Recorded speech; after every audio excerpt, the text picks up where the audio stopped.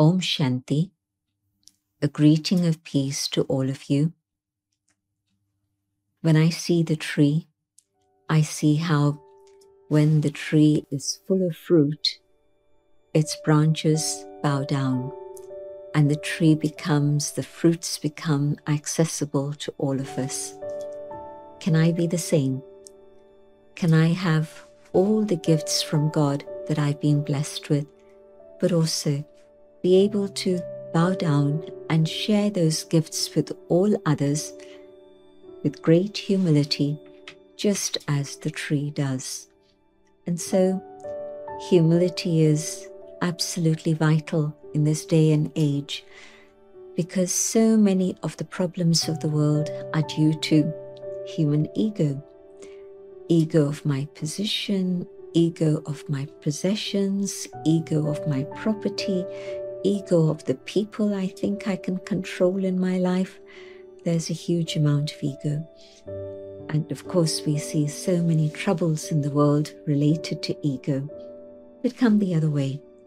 Can I go deep within my inner being and realize that I am just a point of light? That's it. No possessions, no position, no people, nothing. I stand on my own, completely free.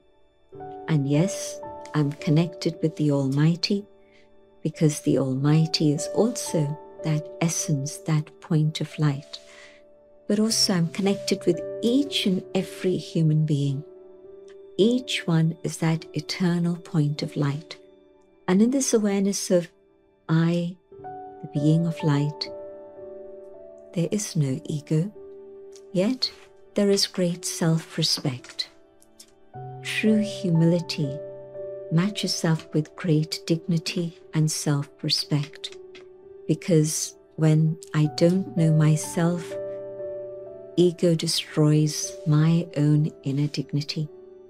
And in soul consciousness, awareness of the inner being with humility I know that as a child of God, I'm blessed with all the gifts that God wishes to give me. And so, recognizing my own value, I maintain my dignity and self respect, but with interaction with all others, there's great humility. I'm able to treat each and every individual with respect, with regard. How different would the world be if we were to practice a little bit of humility each day and every day with everyone that we meet. Thank you. Om Shanti.